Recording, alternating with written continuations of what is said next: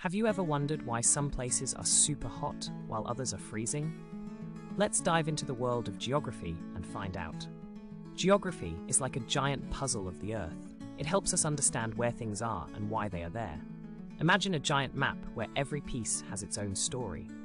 Let's break it down. First, we have landforms like mountains and valleys. Then there are bodies of water, like oceans and rivers. Finally, we have climate, which tells us about the weather in different places. Landforms are like the shape of your playground. Mountains are the tall slides, and valleys are the flat areas where you run around. Bodies of water are like the swimming pool. Climate is like the weather when you go outside to play.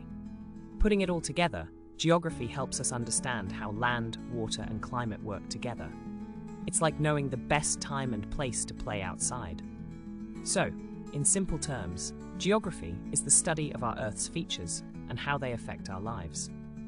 Next time you look at a map or feel the weather, remember the amazing world of geography.